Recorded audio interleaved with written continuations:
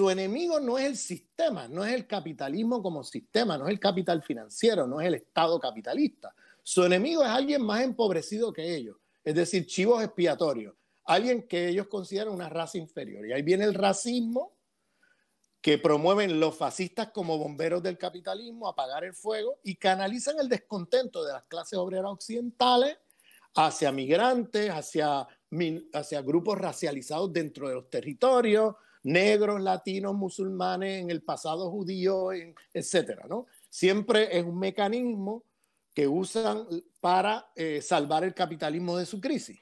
Y por eso hay que tener mucho cuidado, porque las clases obreras blancas occidentales, como aristocracia obrera del sistema imperialista mundial, son muy susceptibles a este tipo de movimientos de extrema derecha. Y lo estamos viendo con el ascenso de estos movimientos en Europa y lo estamos viendo en Estados Unidos. Trump es un líder de extrema derecha, no nos equivoquemos.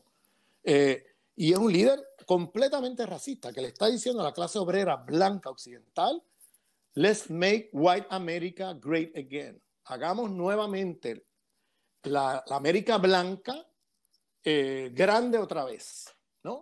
Eh, ese es el lema con el cual él ganó las elecciones y lo sigue repitiendo. Y claro, en una situación de crisis así, ¿qué hace? Convencen a las clases obreras occidentales que su problema no es Wall Street, que su problema no es ese Estado capitalista imperialista que los ha saqueado, que su problema no es el Pentágono, que se ha quedado con los presupuestos de los contribuyentes americanos durante años y ahora están endeudados y ese dinero ha pasado a empresas militares, lo que se llama el complejo militar industrial americano. ¿Su problema qué? Su problema es eh, los negros, los latinos, los migrantes, los musulmanes, o sea, y ahí canalizan el descontento para donde no va.